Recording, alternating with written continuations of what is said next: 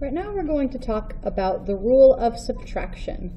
The rule of subtraction is another strategy that you can use to help you solve subtraction problems. In the rule of subtraction there are two steps. Step 1 says change the subtraction sign to addition. And step 2 says change the second number to its opposite. If you remember, opposites are things like negative 3 is the opposite of positive 3 or positive 12 is the opposite of negative 12.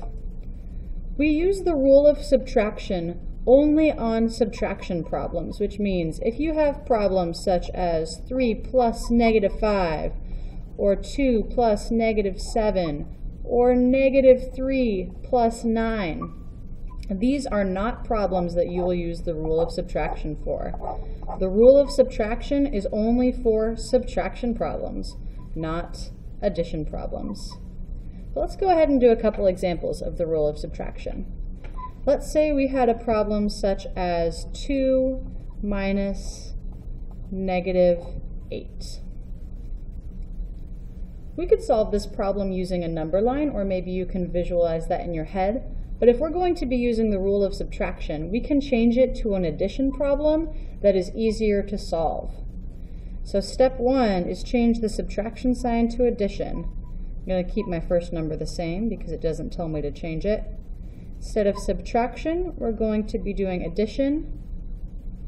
And then step two says, change the second number to its opposite. The opposite of negative 8 is positive 8. So I'm going to write that right there. According to the rule of subtraction, this equation will get you the exact same answer as this equation down here.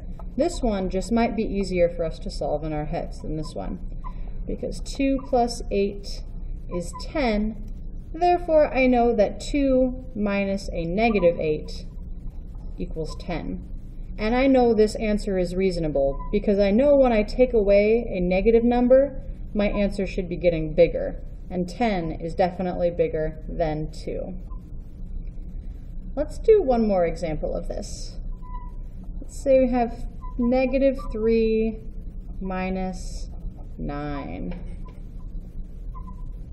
Using the rule of subtraction, I'm going to keep my first number the same. Step 1 says change the subtraction sign to addition. And step 2 says change the second number to its opposite. We're subtracting by a positive 9. The opposite of positive 9 is negative 9. So then I can do negative 3 plus negative 9, which I could use a number line for, or I could solve in my head. I know that negative 3 plus negative 9 equals negative 12. Therefore, I know that negative 3 minus 9 also equals negative 12. This is just one more strategy that you can use to solve subtraction problems with positive and negative numbers.